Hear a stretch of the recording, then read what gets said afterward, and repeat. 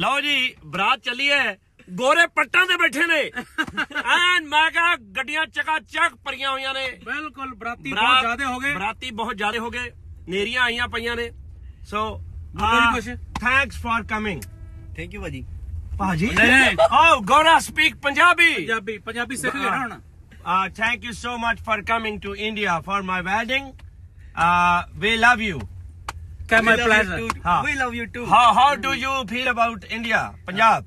Punjab is a very nice place. Ha, I I enjoyed a lot. very good. Very good Very, that's it. ਭਾਜੀ ਮੁੱਗੀ English ਲਓ ਜੀ ਗੋਰੇ ਦੀ ਅੰਗਰੇਜ਼ੀ ਖਤਮ ਹੋ ਚੁੱਕੀ ਹੈ ਸੋ ਬਰਾਤ ਚੱਲੀ ਹੈ ਜੀ ਆ ਦੇਖੋ ਮਾਹੌਲ ਪੂਰਾ ਉਹ ਅਗਲੀਆਂ ਗੱਡੀਆਂ ਵੀ ਜਾ ਰਹੀਆਂ ਨੇ ਹੁਣ ਉਹ ਭਰੀਆਂ ਹੋਈਆਂ ਨੇ ਉਹ ਵੀ ਬਰਾਤੀ ਸੱਜਣ ਬਰਾਤੀ ਸੱਜਣ ਨੇ ਪਟਾਕਾ ਪਊਗਾ ਹੋ ਤੇਰੇ ਤੇ ਹੋਰ ਦਾਵੇ ਆ ਜਰਨੈਲ ਕਰਿਆ। ਸਾਨੂੰ ਨੱਚ ਕੇ ਦਿਖਾ। ਜਰਨੈਲ ਕੁੜੇ।